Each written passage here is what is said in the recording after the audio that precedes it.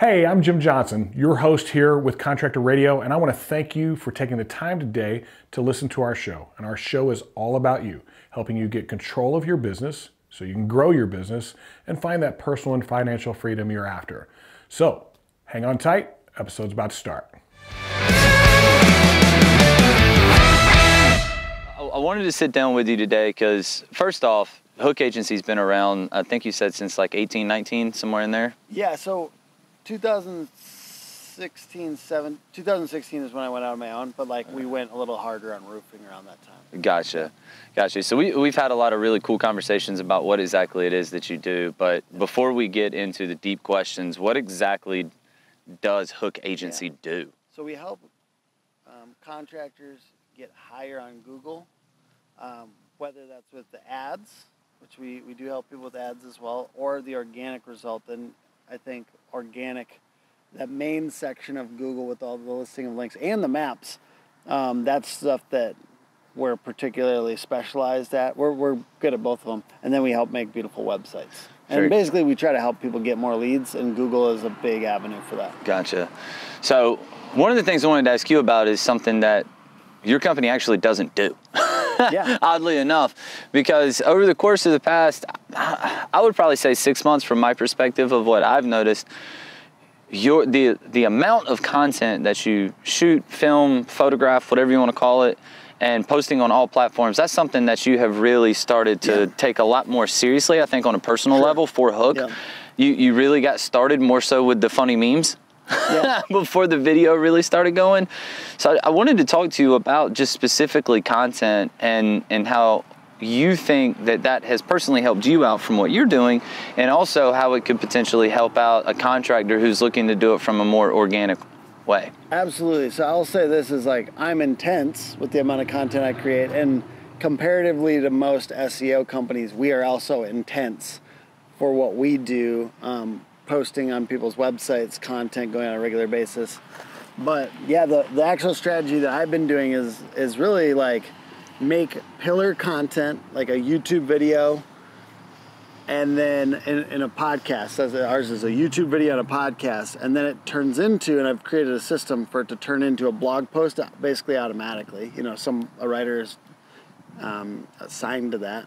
Um, then reels. So somebody in my company i made it into a little machine internally right where there's people in the company there's somebody in the company that's savvy that identifies all the reels and then there's somebody externally that edits all the reels and it happens um, without a lot of my intervention actually no none of my intervention.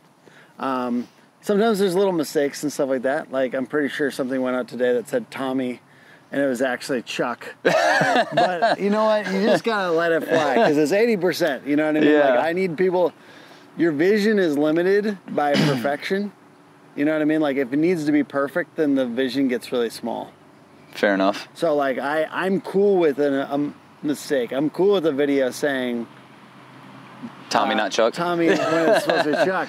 Yeah. Even though it'd be better, and there's a reason, it's a positive thing if it was correct. Yeah. But I'm gonna let it go, and I'm not. I didn't even say anything. I might occasionally like actually like be a little bit more intentional, but ultimately like you have to be okay with a little imperfection when you're on beast mode, right? Yeah, Like, yeah. When you're in beast mode, you got to go hard, and it's not really in this day and age with you know we're not trying to go viral here. We're trying to be intentionally valuable to our core audience, which isn't that large of an audience. You Mm-hmm. No, know what I mean? not And really. ultimately, I want 500,000, 3,000, on a good day, 10,000 views of roofers. Honestly, Mm-hmm. my target market is only 10,000 people, probably. Yeah. You know what I mean? So I don't necessarily need to for the world to see it. And sometimes when I'm going after that audience, that larger audience, which I do sometimes because I've been trying to go viral for for fun, yeah.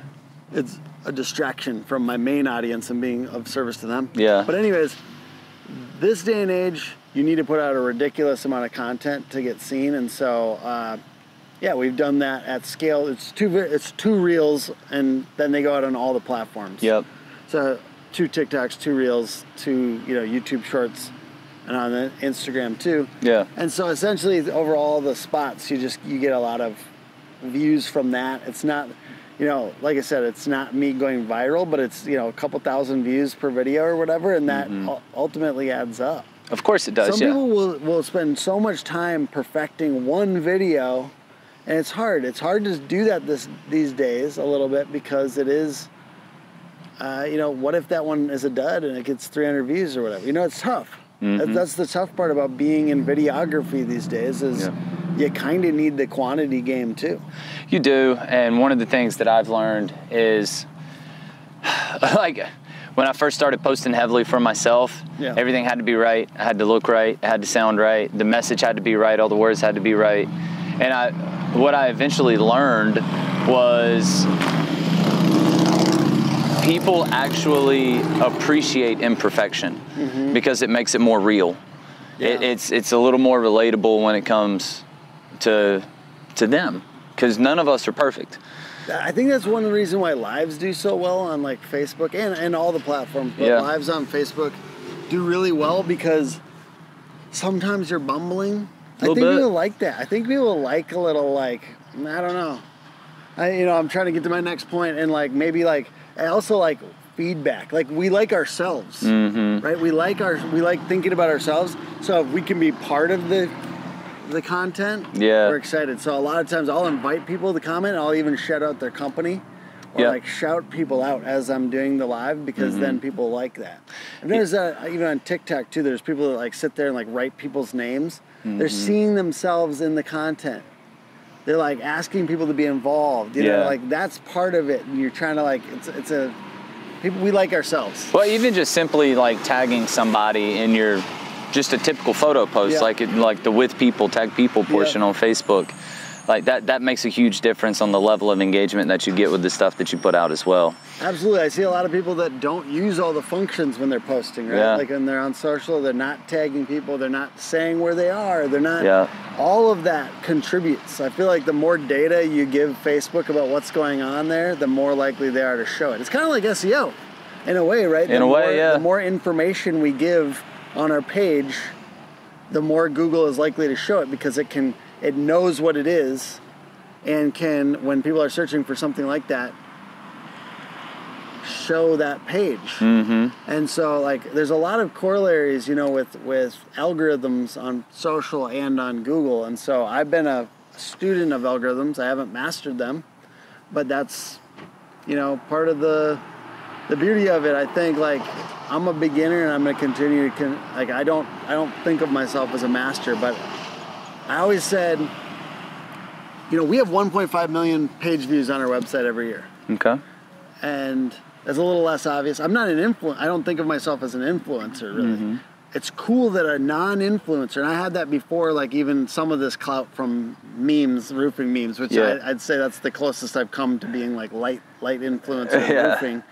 But like, I had 1.5 million page views on our website, and it, I wasn't an influencer because I knew how to work that algorithm. Yeah. So you can learn how to work algor- algorithms, and you don't have to be an influencer or even like involve your personality. Because some people want to avoid that. Yeah. For various reasons. Sometimes they're scared, and sometimes they just want to build a business that doesn't require them.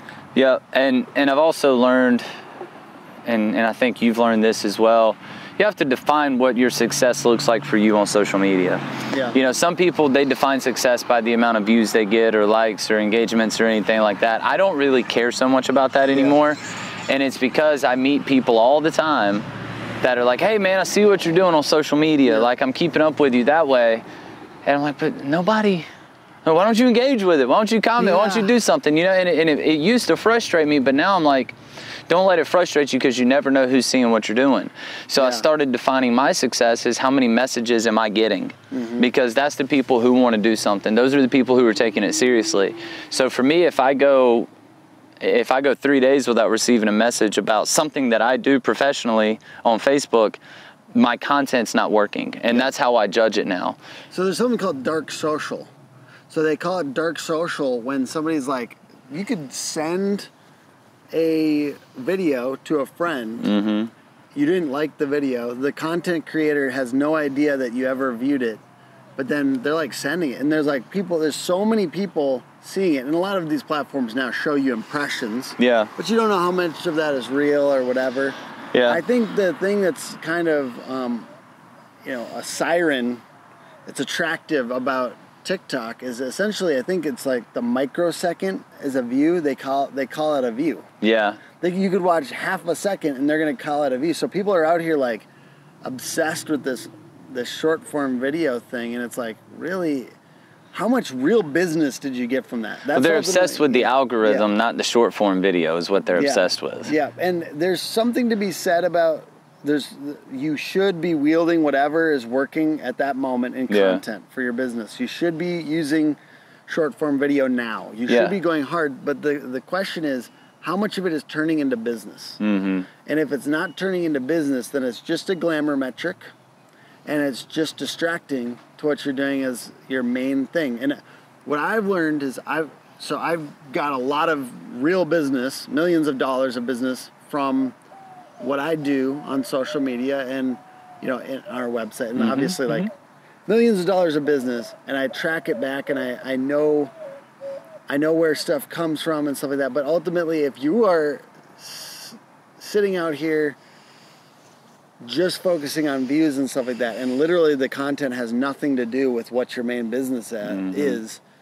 you you really could waste a lot of time and i have i certainly have for I, I feel like it was kind of for fun but I've, I've realized it is a time waster to sit there and try to like go viral Yep. Then that's kind of what I found as well. I, I don't go viral anymore. The one video that I do have that went viral had nothing to do with business whatsoever. Yeah. And I was like, this did me no good. Yeah. It made me feel good for about seven or eight hours. you And can then, post the metrics you can post a screenshot of yeah, I can post a internet. screenshot and, but at the end of the day, it doesn't do anything. Now, I don't mean to And take just anything. One, I just had one kind of do that. Like to Yeah. me, it was kind of big. It did like 130,000 views or something. like Yes, that. that's great though. That's awesome. It's great, but it literally no business result Yeah. Like, like honestly, it was a distraction for a couple days. Well, and again, it, it, it turns into what do you define as success? Yeah. In, in social media from the organic side. And the last thing I'll say about this, and I only bring this up because you said you've been obsessed with algorithms and you follow them.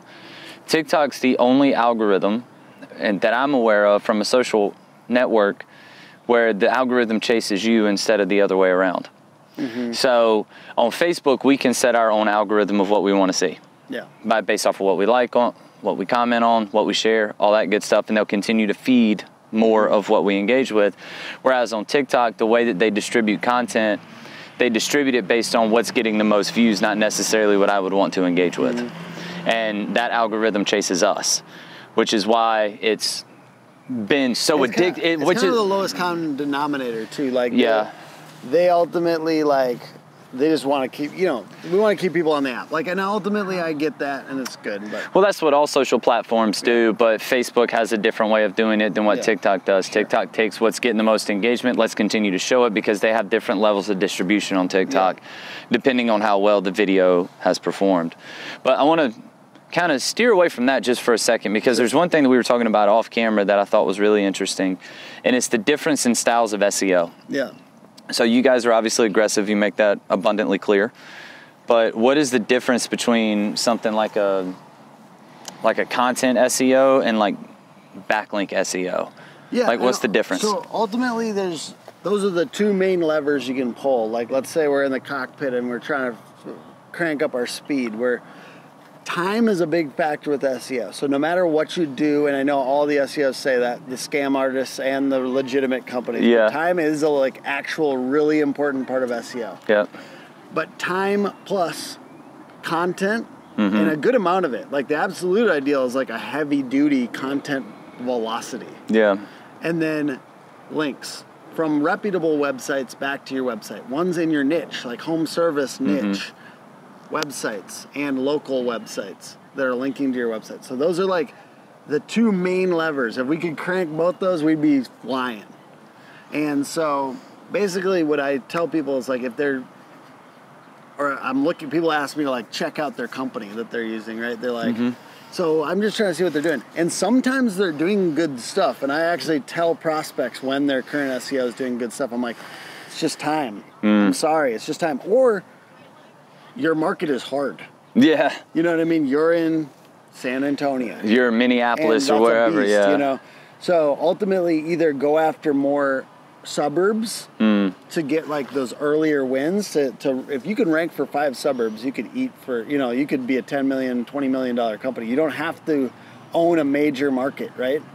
So there's a lot of different little components there, but ultimately your your SEO company should be creating a good chunk of content. We do 3,000 words every month, Okay. and it's keyword targeted, 3,000 words, or or and excuse me, I should say, and getting links from other websites back to yours. And every single month, we're getting links from other websites back to clients' And I- websites. And ultimately, those two things are the big. If they're not doing that, that's they're not being aggressive with Yeah. SEO. There's ways to do SEO where you're just like tweaking the technical side of it, meta titles and descriptions. Those things do matter. They Hmm. really do matter. We just think of it as 20% of our overall deliverables because it's easy to get. Some people will just keep on giving you a an audit every month, Yeah. and you got this list of keywords, and you got like some analytics. Analytics are not going to change the trajectory or velocity of your company's rankings. Hmm. Yeah. You, know, you have to push effort and more effort than your competitors because this is a competition. Yep. So you have to actually, there's got to be effort done every single month. The technical stuff is part of it, but it's just not going to move the needle by itself. Yeah, I think the content SEO portion is easy for people to wrap their head around. Yeah. You can see it, it's tangible, you see what's happening, correct? Where where I think SEO gets difficult to begin to understand, specifically in the contracting world, is the backlink side of it. Everybody knows they need it, but nobody truly understands it. I- if some- that if yeah. that makes sense. Some people do play it down. They're like, I don't, you don't, you know, can't do that. Or like Google tells you not to. Because Google does tell you not to, by the way. Fair enough. Um, there's ways to do this that are so that are natural. Mm. You know what I mean? We do local directory listings. We do guest posting, which is writing for other websites and getting in that website a link back to yours. We do press release distribution, things like that that are kind of it's a natural way to get links back to your website. yeah. Those are it's basically it's a simple thing. If you had a friend, let's say you do have a friend that has a website that has a lot of traffic. Mm-hmm. You know what I mean? All you got to do is say, you know what, Tim, I want to, I want to uh, write a blog post about this particular topic, like for a roofer. You know, Yeah, of course. I want to write a topic about um, what size of hail creates damage. Can I write that article for you? Mm-hmm. And if they actually have traffic to their website, it's a good, a decent amount of traffic. Yeah, of course. Well, define a decent amount of Like, traffic. I would say like thousand plus people on the website a month. A month, okay. decent amount of traffic. Like if if they have that, and there's ways that you can see this from the outside. A-H-R-E-F-S dot com or SEMrush, S-E-M-Rush Yep. dot com. I love SEMrush. I love that. They're so fun, and you can like look at your competitors, and Yep. you can look at what they're ranking for, and you can steal those keywords. It's a beautiful thing.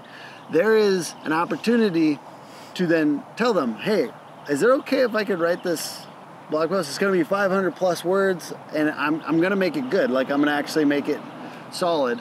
And then you'd write that blog post for them, and then in it, ideally in the first couple paragraphs, you'd link back to your website. yeah, of course. So th- that content that you're creating for that person's website, Yep. some people are like, I, I don't want to make that. Well, that is a fundamental component to Yes. all marketing. Creating heavy duty content, Mm-hmm. and there's so many easy ways to get into this. And the first way that I like to tell people about is what are the objections that you've had this week? We all get a little tinge of like anger Yeah. or like sadness or frustration when a, a prospect rejects us, right? Mm. What if I told you you don't have to feel that? What if I want you to put this in a spreadsheet or a note on your phone every single time somebody has an objection, they turn you down for whatever reason, write it down and then create an empathetic but comprehensive video to address that objection? It, it's multiple prongs. We can put it on social media. We can put it on YouTube. We can cut it up into reels. We can use it for sales training for our team because it's hard to do this, right? I am about to hire a sales assistant. I've got 20 videos that that person can, all the objections that we experience on a regular basis that I've already made, and I didn't make them that. I mean, I know this is a, a an abomination for a video person, but I didn't make them that fancy. Some of them were just me walking around my neighborhood after work.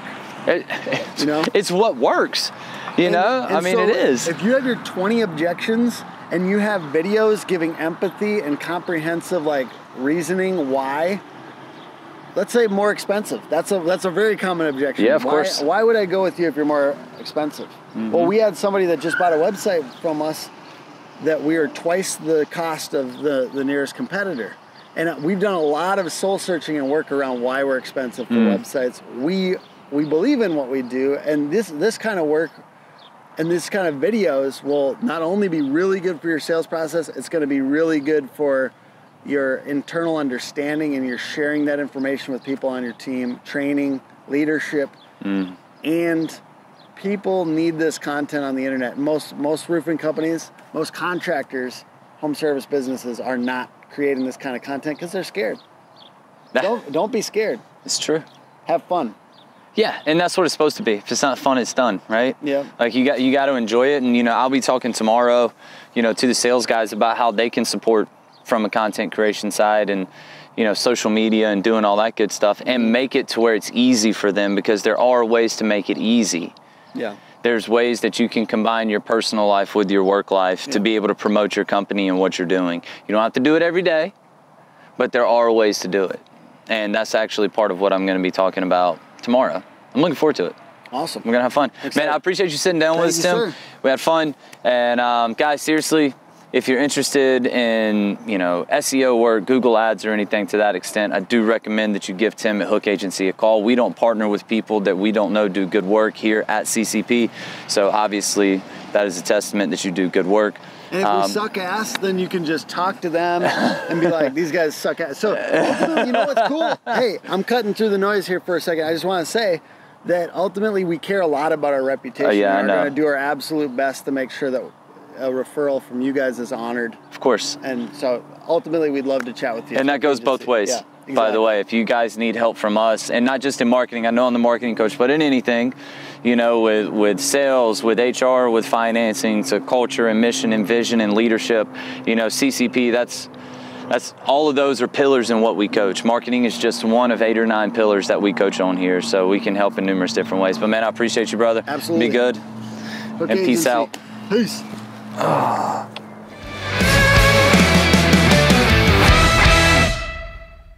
Oh, you're still here? Well, you must have thought it was great. Make sure to like and subscribe to Contractor Radio and never miss an episode because we're here to help you get better at what you do.